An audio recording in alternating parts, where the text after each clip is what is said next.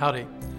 My name is Mark Welsh, and I am privileged to serve as the Dean of the Bush School of Government and Public Service at the great Texas A&M University. Our mission here at the Bush School is to prepare remarkable men and women for service to their fellow citizens, to their state, and to their nation. President Bush called that service a noble calling, and we believe that here. The Bush School is a graduate program.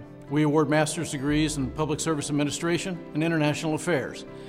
Our extended and online education programs also offer certificates in related fields of study. Every great college starts with a great faculty, and I believe that ours is the best.